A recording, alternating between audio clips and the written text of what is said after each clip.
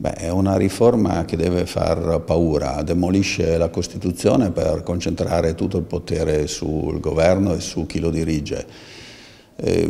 Tutte le regioni perdono, perdono autonomia, perdono poteri, perdono legislazioni, inevitabilmente perderanno anche le autonomie speciali perché più differenza ci sarà, più tendenza ci sarà a livellare, gli enti locali non contano più nulla, una grossa concentrazione si va verso l'annientamento sostanzialmente degli, degli enti locali. Noi diciamo non dobbiamo aver paura della concentrazione dei poteri, non dobbiamo aver paura neanche delle dittature, dobbiamo aver paura di Renzi in questo momento.